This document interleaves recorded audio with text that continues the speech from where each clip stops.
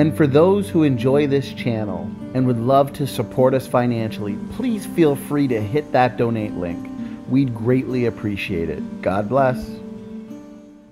Guys, it's Landon. Um, not too long ago, I had made a short video discussing how natural selection is a tautology and therefore outside of the realm of science.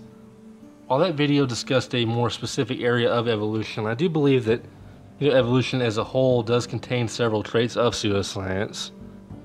So yeah, for this video I'm going to be discussing how evolution as a whole is arguably pseudoscience.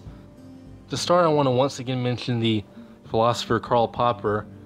As I mentioned in the previous video, Popper was famous for saying that you know theories had to be falsifiable to be scientific.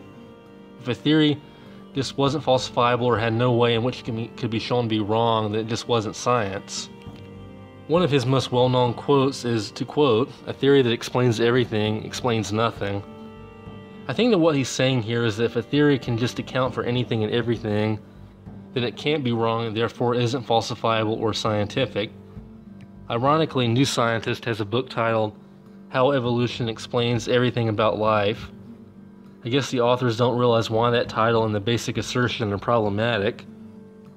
In other words, if any finding can be attributed to evolution, how could anything falsify it? For example, when Bill Morgan recently debated Erica during the Q&A, I'd asked her what would convince her that life was designed.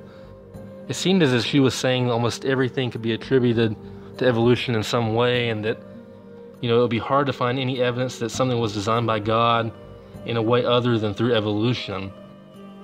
So, I mean, she even made the point that, you know, even demonstrating theistic evolution would be pretty hard. So, I mean, if the position is that all findings confirm evolution, how is this a scientific or tenable position?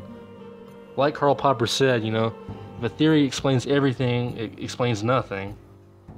To elaborate a little more, it seems like, you know, any trait from any organism will be explained away with some evolutionary narrative or just so story. I mean, I'm sure if you've, you know, read any of the articles on evolution, you, will know what I'm talking about. The late chemist um, Philip Skell discussed this issue in an article titled, Why Do We Invoke Darwin? His main point seemed to be that, you know, evolution can just explain anything. This does make me think of another interesting quote by the intelligent design advocate Cornelius Hunter. I believe he has a PhD in computational biology. But in the quote, he describes how there just isn't any bad news for evolutionists. In relation to that, the Atheistic Skeptics Dictionary lists two interesting traits of pseudoscience that are found in evolutionary theory. One of them is to quote, some pseudoscientific claims can't be tested because they are consistent with every imaginable state of affairs in the empirical world.